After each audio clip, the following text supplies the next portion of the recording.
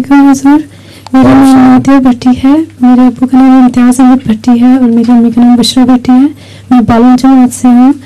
हजूर जब हम किचन में काम करते हैं तो हमारे सर पर दुपट्टा नहीं होता तो क्या हम दुआएँ और दरूद शरीफ पढ़ सकते हैं? क्या?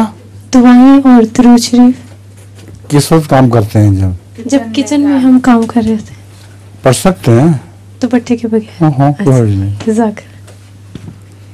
चलिए जी मुताहरा